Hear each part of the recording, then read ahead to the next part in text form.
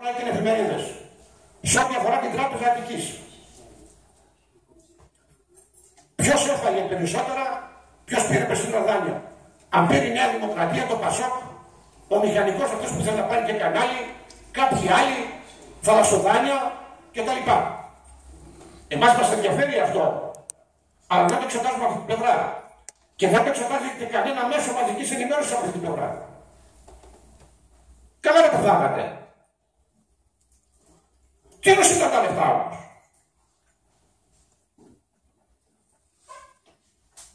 Βασικός μέτοχος λοιπόν στην τράπεζα Αττικής που έβαλε 700 εκατομμύρια είναι το Ταμείο Συνταξιούχων των Μηχανικών.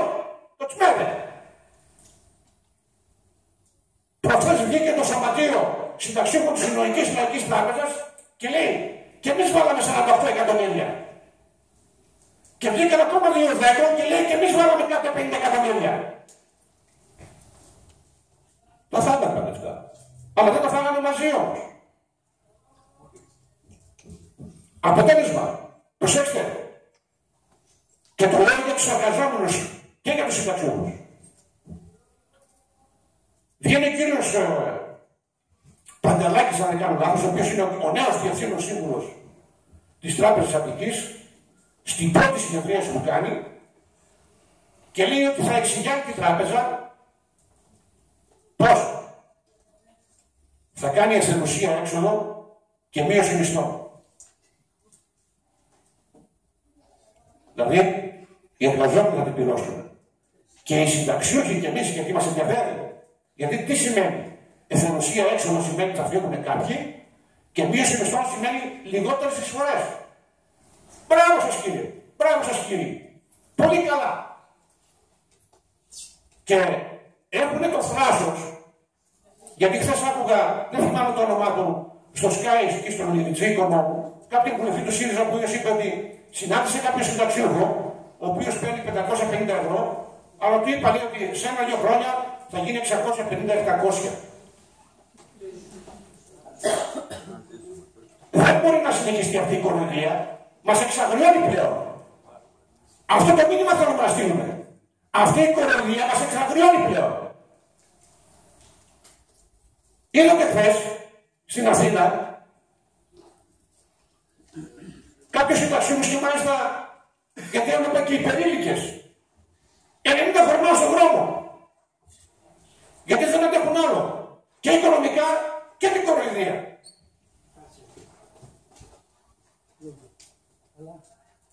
Έχουμε φτάσει λοιπόν σε ένα σημείο που δεν μπορεί να πάει περισσότερο.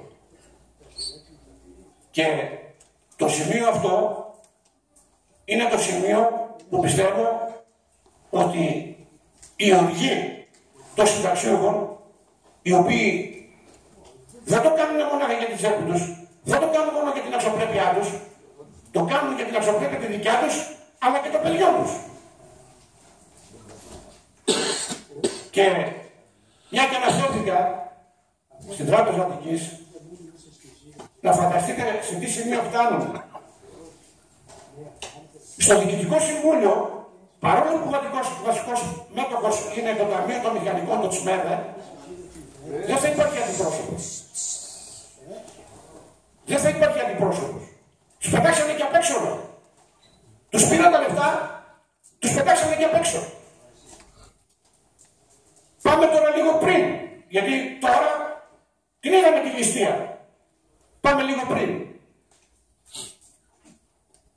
Πάμε στο 2005.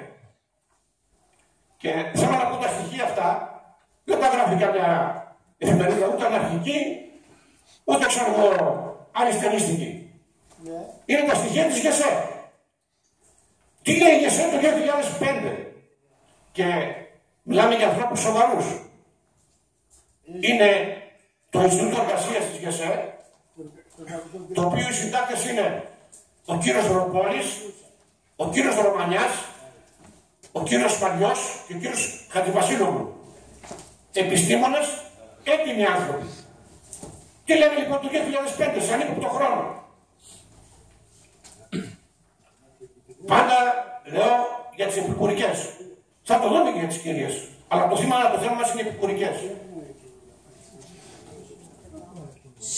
Οι συνέπειες της αφέμαξη του συστήματος από τα μαθηματικά του, που πραγματοποιήθηκε σε περασμένε περιόδους, πιο παλιά αλλά το 2005, με πρωτορικάτη το ίδιο το ελληνικό κράτος εξακολουθεί να ταλανίζει το σύστημα. Αυτά λέει το Ινστιτούτο της ΓΕΣΕ, Ρομπόλη, Ρωμανιάς κτλ. Στον ίδια, στην ίδια, αυτό υπάρχει στο διαδίκτυο που θέλει το βρει, μπορεί να το βρει. Στην ίδια μελέτη αναφέρεται για το ταμείο του ΕΤΑΜ, του ΙΚΑ, που είναι περισσότεροι εργαζόμενοι. Και λέει, η υπέρμετρη επιβάρηση του ΕΤΑΜ με την υπαγωγή σε αυτών των τραπεζοπαλίων, χωρίς να έχει μεταβιβαστεί στο ΕΤΑΜ η περιουσία του από το ΙΚΑ και απαλλαγή των τραπεζών από υφιστάμενες υποχρεώσεις της συνεισφοράς στο μεταφερόμενο ΙΚΑ κόστος ένταξης του Ταμείου κυρίας και επικουρική σύνταξης. Τι λέει δηλαδή. Ότι τους βάλανε τους τραπεζοπαρίου στο ΕΤΑΜ χωρίς να έχουν δώσει εισφορέ, ούτε και περιουσία. Τα φάγανε τράπεζες δηλαδή. Ξαναλέω, το λέει η ΓΕΣΕ. Υπάρχει στο διαδίκτυο. Υπάρχει μια αναλογιστική μελέτη του 2005 από το Ινστιτούτο Εργασίας της ΓΕΣΕ. Να πάμε λίγο πιο μπροστά.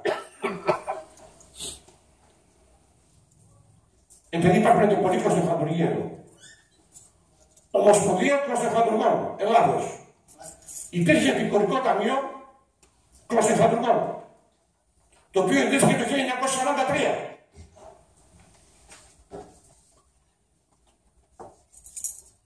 Το 2000, το 1998 υπήρχαν 41.200 εργαζόμενοι και υπήρχαν και 15.000 συνταξιούχοι. Αναφέρει 7.000 γύρω 5.000 παραπηρία, 2.000 θανάτου, από εργατικά ατυχήματα 438 και από θυματίωση 226. Ξέρετε τι σημαίνει προστήριο.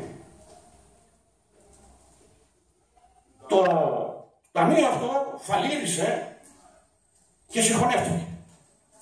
Μας λέει λοιπόν εδώ η διοίκηση του ΤΕΑΜ γιατί φαλήρισε. Γιατί λέει ποτέ δεν ενδιαφέρθηκε το κράτος να μαζέψει τις φορές. Και έχει βγάλει μια κατάσταση, σε δραχμές τότε ήταν, ποιες επιχειρήσεις χρωστάνε. Περθύμ, 22 εκατομμύρια δραχμές. Πυραϊκή πατραϊκή, 83 εκατομμύρια δραχμές. Διονύμου, 11.500. 10, 10, Δουρίδας, 19. Ατελείωτη η λίστα. Ε, Εργομηχανία Ελλάδος, 11 εκατομμύρια. Βαβαπουργία Μαρτίνου, 10 εκατομμύρια. Αδραχός Φαρτόπουλος, 10 εκατομμύρια. Και άλλοι σύνδεδα. Ανατόλια, 26 εκατομμύρια, οι τάφητες.